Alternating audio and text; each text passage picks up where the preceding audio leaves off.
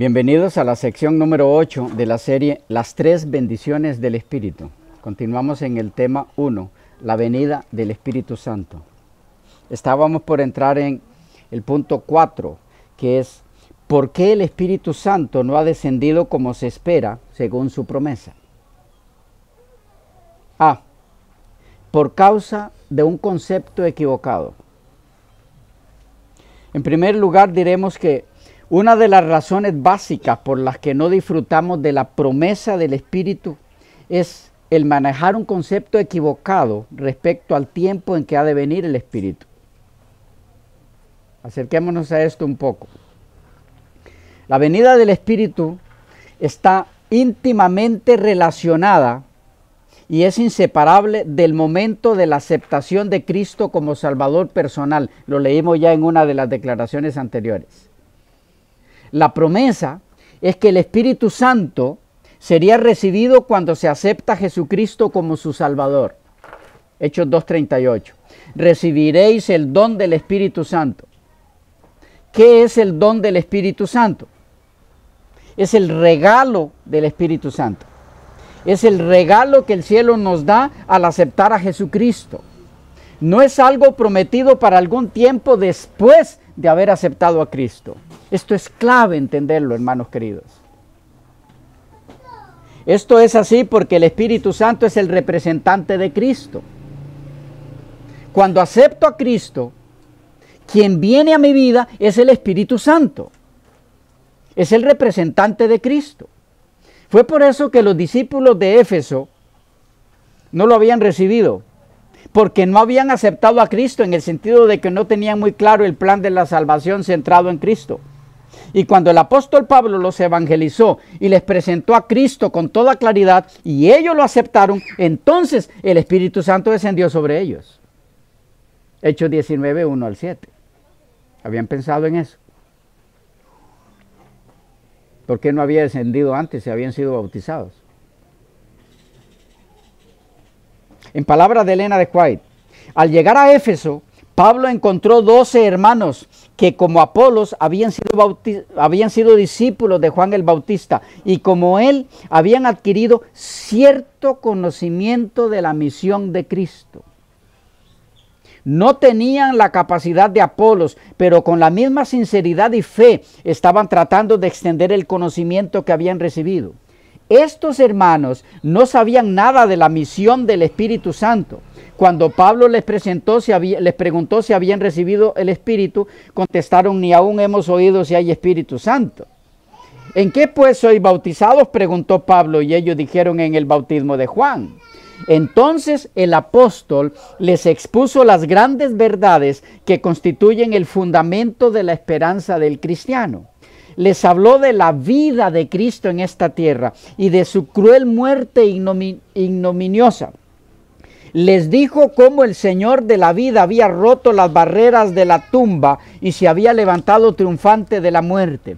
Repitió la comisión del Salvador a sus discípulos. Toda potestad me es dada en el cielo y en la tierra. Por tanto, id y doctrinad a todos los gentiles, bautizándolos en el nombre del Padre y del Hijo y del Espíritu Santo. Mateo 28, 18 y 19.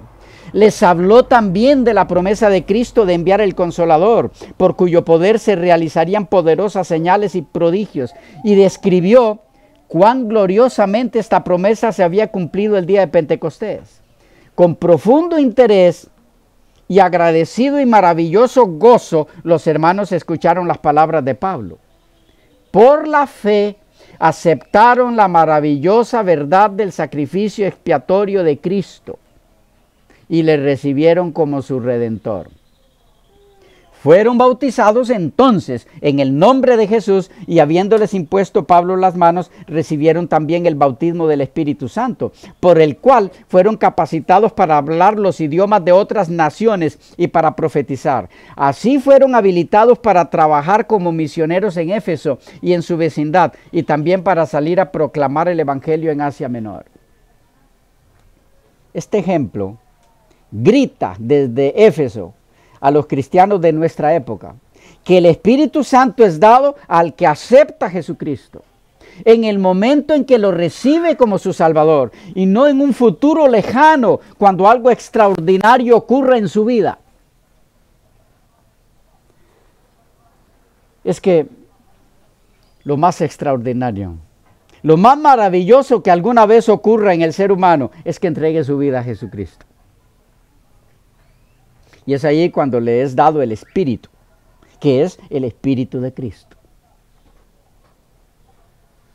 Otro caso registrado también en el libro de los Hechos, donde se corrobora que el Espíritu Santo viene al creyente en todo su poder en el momento de su aceptación de Jesucristo, es el de Cornelio. Hechos 10, 24 al 48. En el caso de Cornelio, el Espíritu descendió aún antes del acto del bautismo. Él descendió a sus corazones porque en esos corazones se había aceptado a Jesucristo como Salvador personal.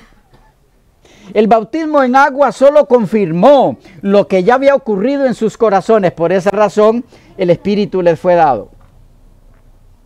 Volviendo a nuestro punto, es la enseñanza de las sagradas escrituras que el Espíritu Santo es dado a aquellos que aceptan a Jesucristo en el momento en que lo hagan.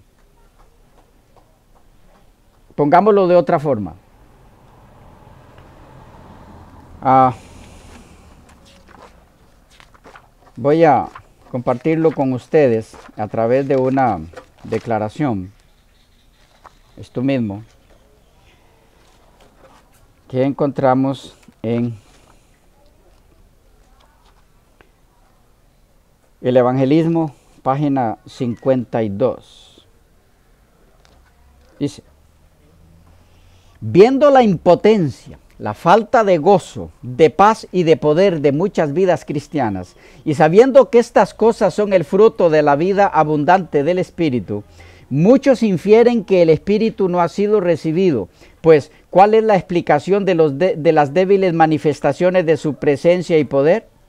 Por consiguiente, es de la mayor importancia entender que todo hijo verdadero de Dios, y eso lo es cuando se acepta a Cristo, según Juan 1.12, ¿okay?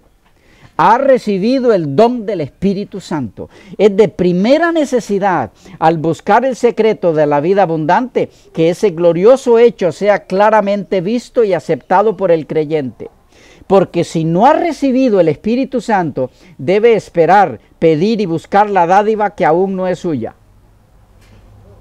Pero si ha recibido al mismo Espíritu Santo, al Espíritu Santo, su actitud debe ser enteramente diferente. No debe esperar y pedir el Espíritu Santo, sino que debe humillarse y ofrecerse a aquel que, que, ha, que ya ha recibido. Repito esa que se me cruzó.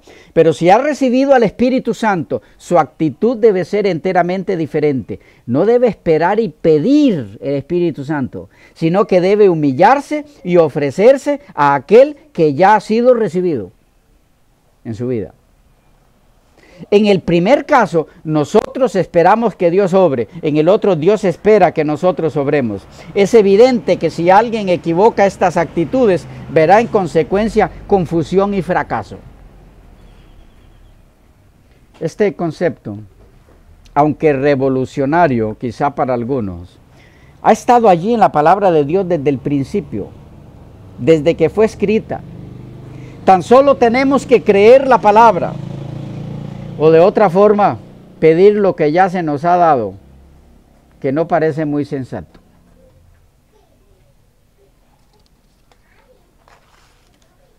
Ah, les leo otra.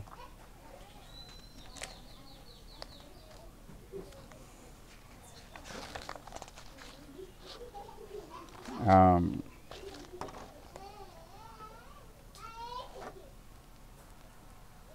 El Evangelismo, página 48.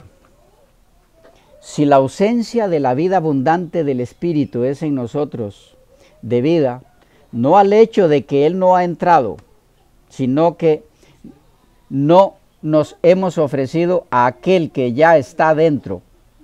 Es un error fatal conservar un alma esperando y buscando en vez de entregarse humillada. Le pone en una posición errónea con respecto a Dios. ¿Captamos eso? Continúa clamando a Dios para que le dé el Espíritu Santo, que le bautice con el Espíritu. Pero Dios ya hizo eso con todo aquel que está en Cristo y le exige el cumplimiento de ciertos requisitos que han de ponerle en conocimiento de la abundancia del Espíritu. No del Espíritu aún por venir, sino del Espíritu que ya está en él. No hemos visto hijos suyos esperando y llorando y agonizando por la dádiva del Espíritu Santo durante muchos y penosos días, meses y aún años por el hecho de ignorar la verdad de su palabra sobre este particular, porque es la verdad que nos hace libres.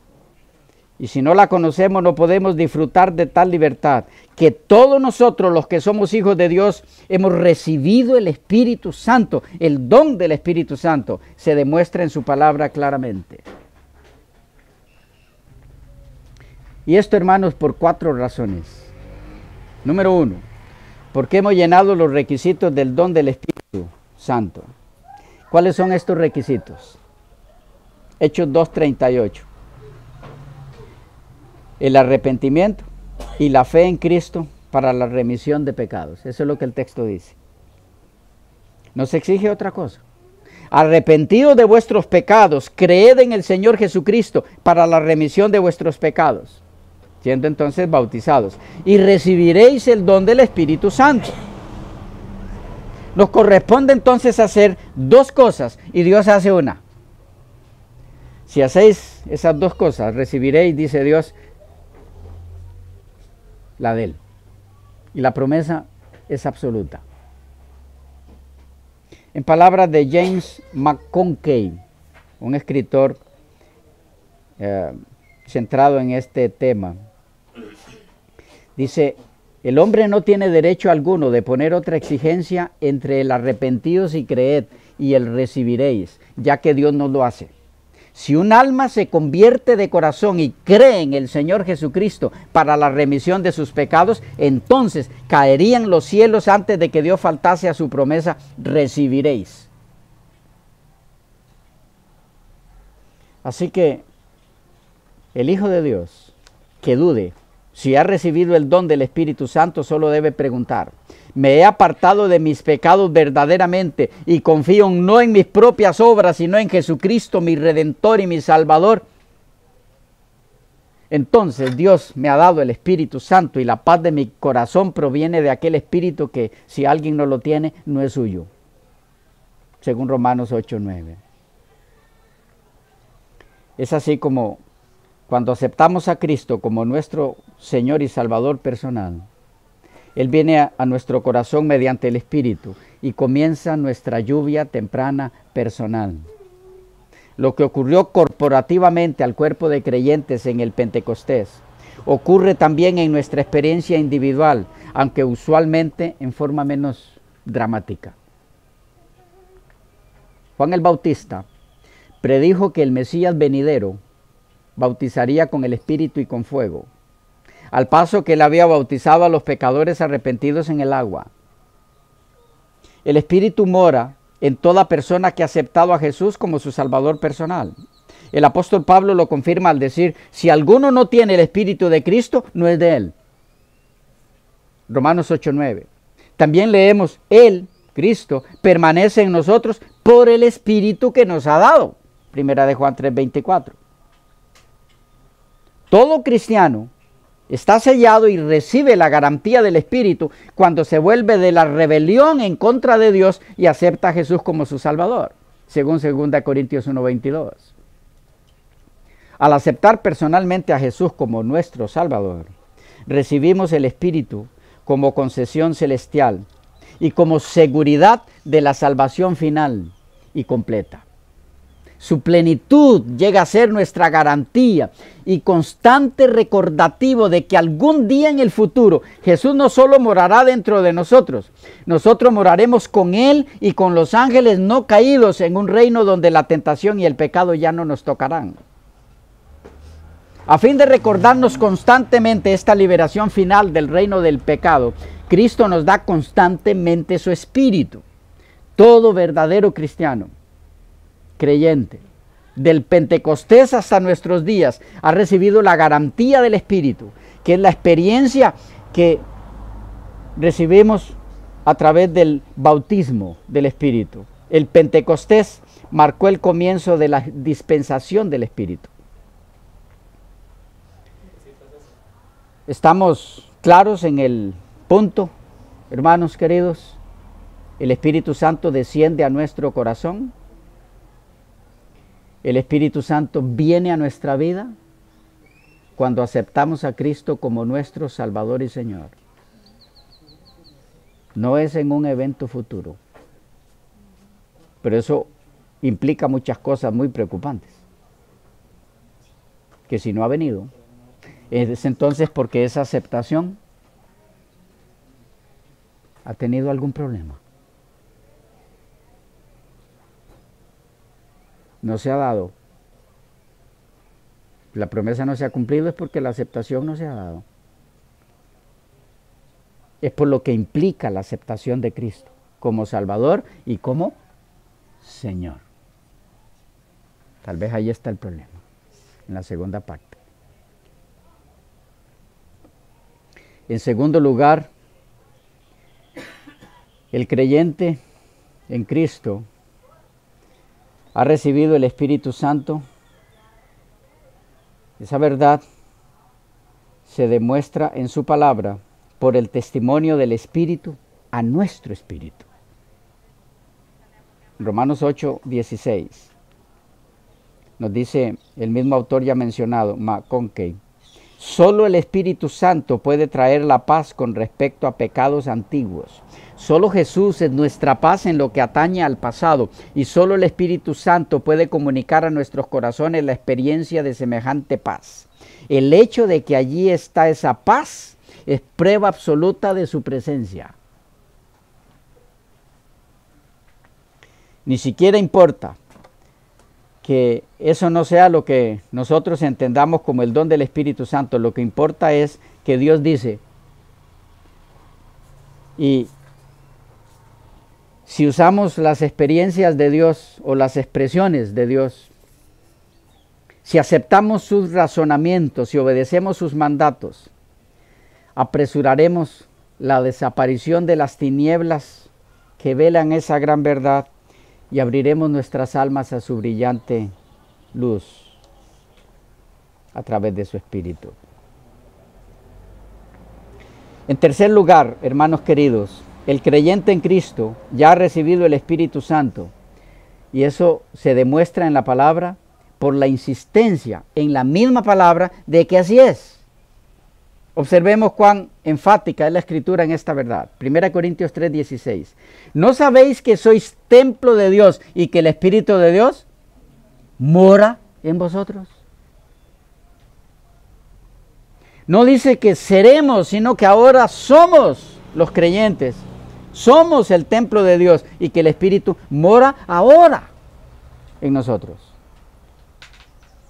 Dos, ¿o ignoráis que vuestro templo Vuestro cuerpo es templo del Espíritu Santo, el cual está en vosotros, el cual tenéis de Dios. 1 Corintios 6, 19.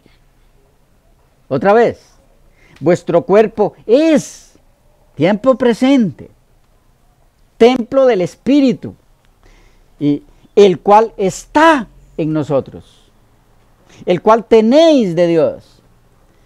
Alabado sea su nombre por tan sublime don. Otro más, 2 Corintios 6, 16. Porque vosotros sois el templo del Dios viviente. Otra vez, vosotros sois. Segunda Corintios 13, 5. Examinaos a vosotros mismos si estáis en la fe. Probaos a vosotros mismos. O no conocéis, no os conocéis a vosotros mismos que Jesucristo está en vosotros, a menos que estéis reprobados. Vaya. Si aceptamos a Cristo como nuestro Señor, ¿dónde está Él? En nuestra vida. ¿Y quién es el representante de Cristo? El Espíritu Santo. Entonces, ¿quién está en nosotros si aceptamos a Cristo? Entonces, ¿cómo es que eso es para futuro? ¿Lo, lo captamos? Este último pasaje aclara lo anterior. Nótese aún la sencilla condición. Examinaos a vosotros mismos si estáis en la fe. Esto es, si sois creyentes, eso es estar en la fe. Si confiáis en el Señor Jesucristo para salvación. Si es así, ¿no reconocéis que Jesucristo está en vosotros? A no ser que al examinaros resulte que os halléis reprobados, o sea, no confiando en Cristo. Qué sencillo es esto y qué armonioso con la verdad tal como Pedro lo predicó. Él dice, arrepentidos y creed en Jesucristo. Y Pablo dice a los arrepentidos que ya creen, ¿no sabéis que solo resta preguntaros, ¿confío en Cristo? Sí, Jesús mora en nosotros, en el Espíritu Santo, a través del Espíritu Santo. Amados, aunque jamás hubierais experimentado la presencia íntima del Espíritu Santo, sería una osadía negar, por no decir algo peor, el hecho glorioso de su presencia frente a las constantes y explícitas afirmaciones de Dios de que somos suyos, su templo, que Él mora en nosotros y que ahora tenemos de Dios ese grande don del Espíritu. Respecto a este último texto, 2 Corintios 13:5, hay un detalle que tiende a confundir a algunos creyentes y tal confusión le lleva a conclusiones equivocadas. El detalle está en la interpretación dada al término examinados. Algunos confunden esta indicación de San Pablo con el área sentimental, interpretando que si sienten que están en la fe, a través de alguna experiencia emocional, entonces lo están, y si no lo sienten, no están en la fe. Esto es un error. Pablo no está hablando aquí de las emociones, de los sentimientos, Pablo está hablando de las acciones, de la conducta, como puede verse en la frase, y oramos a Dios que ninguna cosa mala hagáis, del verso 6. Pablo se refiere al invitarlos a examinarse a sí mismos a su vida espiritual, a su fidelidad a Dios, la única forma en la que podemos saber si estamos en la fe. ¿Estamos captando esa parte? Podemos fácilmente confundirnos cuando Él dice examinaos. Y nosotros, bueno, entonces yo voy a examinarme. La verdad que yo nunca he sentido una experiencia así eh, fuera de lo normal en mis sentimientos y emociones. No es eso. No hay nada de eso ahí. Elena de, White lo expresó así. Ustedes no conocen su propia situación espiritual, les faltan todas las gracias celestiales, debieran examinar sus propios corazones individuales, humilde y cuidadosamente. Necesitan abrir sus corazones para que la luz brille sobre la oscuridad, con el fin de que puedan comprender sus motivaciones. El consejo del apóstol es, examinaos a vosotros mismos si estáis en la fe, probaos a vosotros mismos. 2 Corintios 3:15. ¿Cuál es la naturaleza de los pensamientos de ustedes, de sus espíritus, de sus propósitos, de sus palabras y acciones? Compárenlas con las escrituras y vean si ustedes representan el carácter de Cristo. ¿Ven cómo explica ella que es examinados? Sigue diciendo, vayan humildemente a Jesús, quebranten sus corazones endurecidos por sentimiento de amargura y odio. Permitan que la gracia de Cristo les ablande y derrita y así puedan abandonar todo lo que destruya la paz de ustedes. Examinaos a vosotros mismos si estáis en la fe, 2 Corintios 3:5. Algunas almas concienzudas al leer esto inmediatamente empiezan a criticar cada uno a sus propios sentimientos y emociones. Pero este no es el correcto autoexamen. No son los sentimientos y emociones insignificantes lo que hay que examinar. La vida, el carácter debe medirse con la única regla del carácter, la santa ley de Dios. El fruto atestigua el carácter del árbol. Nuestras obras, no nuestros sentimientos, darán testimonio de nosotros. Es así que las palabras que Pablo sugiere que deberían hacerse, eh, las preguntas que deberían, deberían hacerse a sí mismos es, uno, ¿estáis viviendo en la fe? Dos, muestra tu vida que percibes completamente que Jesús está en ti. Y como Pablo esperaba un buen resultado de este autoexamen, entonces concluye, la gracia del Señor Jesucristo, el amor de Dios y la comunión del Espíritu Santo sea con todos vosotros. 2 Corintios 13, 14. Pero urge entonces aquí la pregunta,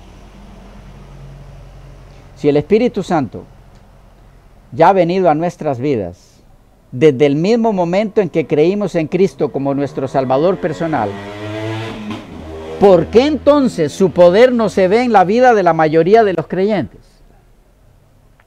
¿Por qué la ausencia de los dones del Espíritu en la mayoría de los cristianos? ¿Por qué además de un concepto equivocado respecto a cuándo es que el Espíritu Santo viene al creyente? Ah, ¿Qué ha hecho, quiero decir, este concepto con, este, con esta enseñanza bíblica? La ha torcido. Es decir, ¿qué ha hecho este concepto de que el Espíritu Santo es algo que viene a futuro con esta enseñanza bíblica? La ha desplazado. Y ha dejado en la mente del creyente que el Espíritu Santo aun cuando él aceptó a Jesús y por eso es creyente, va a venir a su vida en algún momento futuro. Mientras que la palabra de Dios, desde que se escribió sobre lo que significa aceptar a Cristo, nos ha indicado que en el momento en que se recibe el Espíritu Santo es cuando se recibe a Cristo. Simple, usted acepta una cosa o la otra. Hay una segunda razón para que este, el Espíritu, no se manifiesta en la vida de muchos. Y es por causa de condiciones no cumplidas. Para que el Espíritu Santo manifieste su poder en y a través de la vida de los creyentes hay condiciones previas que de no darse tal manifestación no ocurrirá. Y esto pareciera una contradicción de todo lo que hemos dicho sobre este último punto pero no lo es. ¿Por qué pareciera una contradicción? Bueno, porque si la escritura dice que recibimos el Espíritu Santo cuando aceptamos a Cristo, ¿por qué entonces ahora va a hablar de condiciones para recibirlo? ¿Me captan el punto? No hay contradicción alguna. El problema está en lo que les mencioné hace un momento, en entender lo que significa aceptar a Cristo. Vaya, la promesa es que el Espíritu viene a nuestra vida cuando aceptamos a Cristo. El, error está en creer que aceptar a Cristo es levantar la mano o pasar al frente. Aceptar a Cristo significa rechazar al amo anterior y aceptarlo a Él como el nuevo Señor. Esa aceptación de Él como nuevo Señor implica condiciones. Esas condiciones no cumplidas por no haberlo aceptado como Señor son las que hacen que el Espíritu no haya descendido. Captamos como no hay contradicción entre una cosa y la otra. ¿Sí? ¿O hay alguna inquietud? ¿Estoy causando alguna confusión alguna? ¿Estamos claros? ¿Sí? El no aceptar a Jesús como nuestro Señor equivale a no cumplir con las condiciones para que el Espíritu Santo descienda. Dicho al revés, el Espíritu Santo desciende cuando lo aceptamos como nuestro Señor. Pero si esa aceptación de Él como nuestro Señor está basada en un concepto errado de lo que eso significa, creeremos que lo hemos aceptado y no lo hemos aceptado. Y por eso la venida del Espíritu no se da. ¿Cómo sé si he aceptado a Cristo como Señor? Bueno, lo podemos ver al mirar las condiciones que se requieren para que Él descienda. Y van a ver que cada una de esas condiciones se da obligatoriamente, inevitablemente, en todo el que ha aceptado a Cristo como su Salvador y Señor. No hay contradicción, hay total unidad en esto. Pero antes de ver esas, condición, esas condiciones, tenemos que hacer una pausa porque se nos volvió a ir el tiempo. Las veremos en las, en las próximas secciones.